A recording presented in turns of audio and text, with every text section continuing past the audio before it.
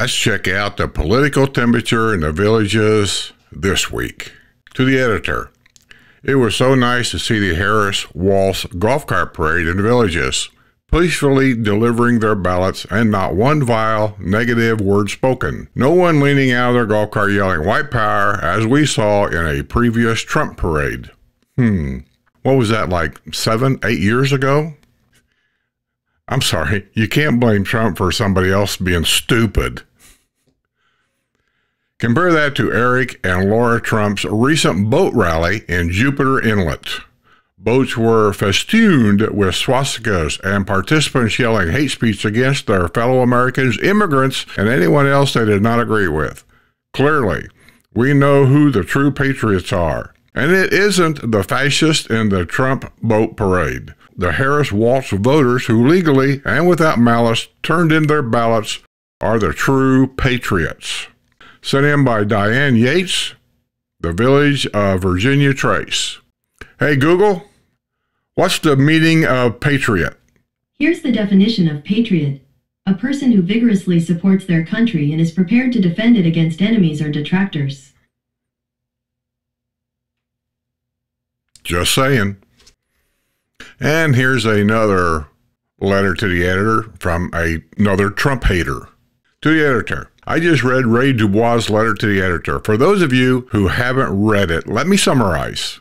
Ray claims that comments from Trump supporters are insulting, arrogant, inaccurate, or just plain stupid. And always inaccurate, demeaning, insulting, and just downright rude. He then gives where he has lived, ancestry, education, and life history in an attempt to show how educated and virtuous he is, as if that gives him standing to demean Trump supporters. It implies he thinks that opinions that differ from his are not worthy of consideration. Hence, you can't fix stupid. Line at the end of the rant. It's absurd to complain what the other side does, then do it yourself sent in by Mike Norberg from the village of Glenbrook. He's right. I see hypocrisy on this election from both sides. That it's just crazy. It's nuts. I sit and watch the news some nights. I flip around from one news to another to hear how the news is really slanted nowadays, and it's almost comical. Now, all the things that I've read this week to kind of get ready for this short little video of the political temperature here in the villages, a retirement community where people of age have lived on, on this earth a long time, seen a lot. You think nothing would face them anymore, and they would just take it all in stride. But it's amazing. Here's a little bit of a letter of common sense, I guess I should say. The title of the letter is Fact Checking Needed as Election Nears. As this important election nears, I observe with interest the many opinions expressed by writers in this opinion section. Unfortunately, I am witnessing the extreme polarization of our population with doomsday predictions from both sides as to what will happen if the other side wins. Without a single vote yet cast, we have people alleging the election has been rigged. Much of this rhetoric seems to be coming from individuals being influenced by both news and social media sources. I'm always amazed about how many people are getting their political information from a Chinese owned company called TikTok. As a lifelong information professional with a career in the library field, I would caution people to really return to a basic understanding of fact versus opinion. This is a basic reading skill taught as a fourth grader. A fact is a thing that is known or proved to be true. An opinion is a view or judgment formed about something not necessarily based on fact or knowledge. A recent letter writer suggested readers should turn to Newsmax, Bill O'Reilly, and Mark Levin on Fox for no spin truth. These news sources have been judged to be biased according to the media bias chart created by Ad Fontes. Opinions are not the same as news. Problem ensues when people only read or view opinions that confirm their existing beliefs. To truly understand the world in which we live, an individual needs to incorporate information from multiple perspectives. If you lean conservative, turn on MSNBC occasionally to hear the other side, and progressives Tune in to Fox once in a while for another perspective. It certainly may change your beliefs, but it may help you better understand where your neighbor or friends on the other side is coming from. As the political advertising and reporting continues to heat up, remember to question and fact check. Some places to do so are politifact.com, factcheck.org, and Snopes, S N O P E S. Please don't repeat or share unchecked information.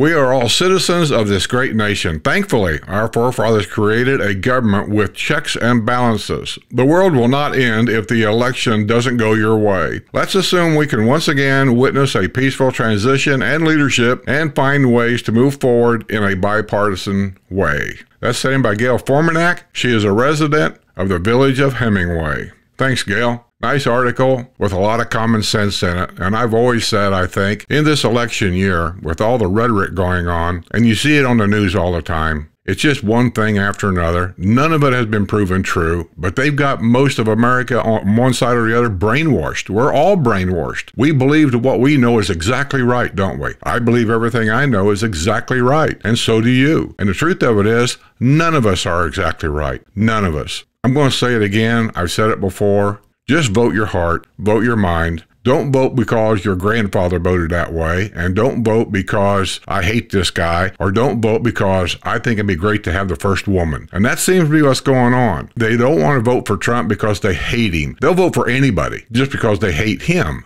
I don't see any evidence at all that supports that kind of hate for the leader of a country in the world. Just like her, I don't see any evidence in leadership there at all but they'll vote for because it's a female. I don't see where that has anything to do with leadership of the world's strongest nation at all. Just vote for what's best for the country. Don't vote all blue because that's what your family's always done. Don't vote all red because that's what your family's done. You know, years ago, there was a thing called a split ticket. And I've done that many times. I'm not Republican. I'm not Democrat. I'm, I guess you'd call it independent. I vote who I think is best for the nation, not for me and not for you. I vote for what's best for the nation. And we all know what we need. We need secure borders. We need jobs. We need somebody to protect our way of life. And that's the way it's got to be. There's a lot of problems in this country right now. Three hurricanes, all this damage. Insurance rates are nuts. There's a lot of misinformation going on from both sides. It ain't all one sided here. So just vote your heart, vote your mind, when you vote, I want everybody to stop for a second before you fill that card out or drop it off. What do you want to leave your kids and your grandkids behind? Do you want to leave in a nation that's very good, very prosperous for them and their future? I do. Or do you want to leave them a nation that's just a mess like it is right now? And it's a mess.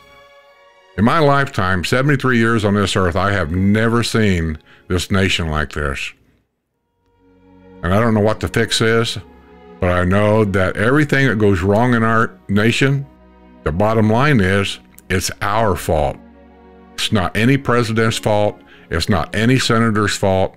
We're the ones that give them the power to do what they're doing. And we're saying it's okay when we reelect those people. So, with that, I just want to say God bless America and God bless the American voter.